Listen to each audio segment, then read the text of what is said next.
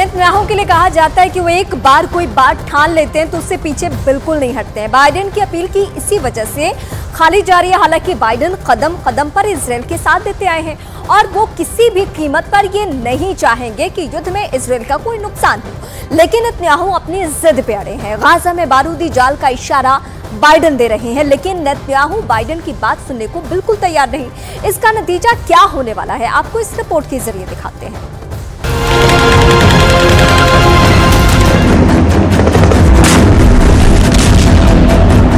American enterprise institute की report की माने तो गाजा में बिखरा मलबा इसराइल की ग्राउंड ऑपरेशन वाले मिशन को कमज़ोर कर सकता है। क्योंकि हमास के स्नाइपरों के मलबे में छिपे होने के चलते इसराइली सैनिकों के लिए ज़मीन पर नेविगेट करना मुश्किल हो जाएगा और ये हमास के लिए फ़ायदेमंद साबित होगा। क्योंकि हमास ने गाजा में एक नहीं, सैकड़ों किल जोन बना रखे हैं, जिसकी झलक इस सैटेलाइट तस्वीर में दिख जाती है।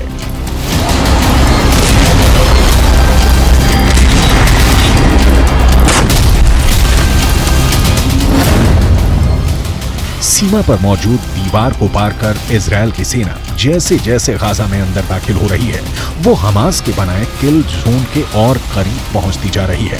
सैटेलाइट तस्वीर में पीले रंग के जो तीर के निशान बने हैं, वो इसराइल के सैनिकों के गाजा में दाखिल होने वाले रास्ते हैं। लेकिन अमेरिकन इंटरप्राइज इंस्टीट्यूट की रिपोर्ट की माने तो ये रास्ते इसराइल के सैनिकों को हमास के किल जोन की तरफ़ ले जा रहे हैं। किल जोन नंबर एक, किल जोन नंबर दो। किल जोन नंबर तीन किल जोन नंबर चार किल जोन नंबर पाँच किल जोन नंबर छह किल जोन नंबर सात किल जोन नंबर आठ किल जोन नंबर नौ किल जोन नंबर दस किल जोन नंबर ग्यारह किल जोन नंबर बारह किल जोन नंबर तेरह किल जोन नंबर चौदह किल जोन नंबर पंद्रह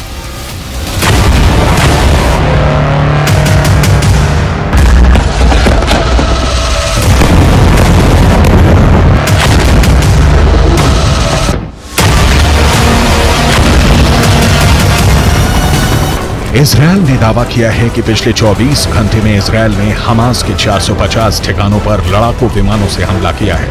ऐसे में अगर अमेरिकन एंटरप्राइज इंस्टीट्यूट की रिपोर्ट की माने तो इसराइल ने पिछले 24 घंटे में ही हमास को 450 किल जोन बनाने का मौका दे दिया है। गाजा के नक्शे में आप देखेंगे उत्तरी इलाका, जहाँ इस वक्त इसराइल की सेना मौजूद है।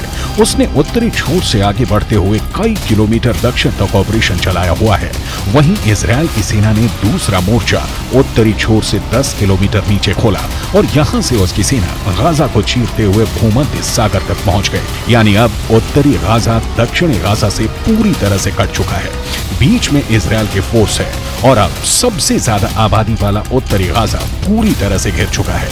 यहीं पर गाजा के बड़े अस्पताल हैं, जैसे अल शिफा अस्पताल, अल कुद्स अस्पताल और एक इंडोनेशियाई हॉस्पिटल भी है। ये वो जगह है जहाँ पर हज़ारों लोगों ने आसरा लिया हुआ है। यानी अमेरिकन एंटरप्राइज इंस्टीट्यूट के विश्लेषकों के मुताबिक, गाजा की धरती पर बिखरे मलबे में हमास की सेना जमी हुई है। इस मलबे वाले इलाके में अगर इसराइल की सेना घुसी तो उसका सामना हमास के स्नाइपरों से होगा। इसराइल की सेना अपने मरकावा टैंक के साथ गाजा में दाखिल हो रही है। इसराइल का मरकावा दुनिया के सबसे सीक्रेट टैंक के रूप में पहचाना जाता है, जिस टैंक के खिलाफ अचूक माने जाने वाली मिसाइल भी नाकाम हो जाती है। लेकिन गाजा का दावा है कि वो इन टैंकों को भी फोड़ सकता है। हमास की इस तैयारी को देखिए। ये तैयारी गाजा में स्ट्रीट फाइट के लिए हो रही है। इसराइल की फौज जब गाजा के बीचों बीच पहुँचने की कोशिश करेगी तो उसके सामने इस तरह का चैलेंज होगा।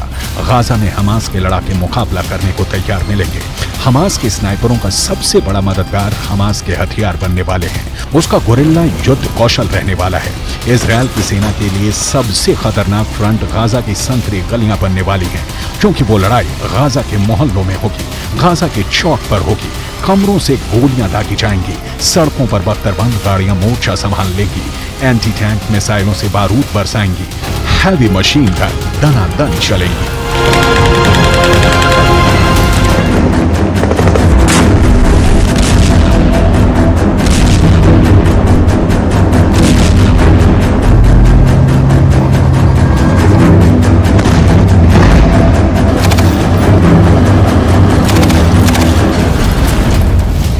सबसे असरदार हथियार हमास के पास एंटी टैंक मिसाइल है।